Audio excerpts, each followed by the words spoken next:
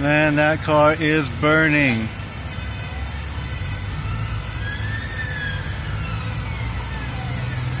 So, if you're counting on the uh, fire department to save you from a burning car, uh, I, I wouldn't wait. That car has been engulfed in flames for several minutes. Uh,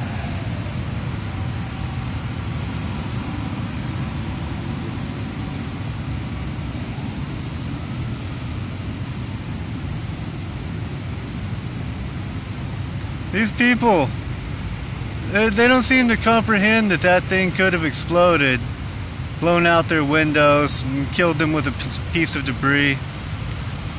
They really absolutely must keep driving. Uh, stupid people.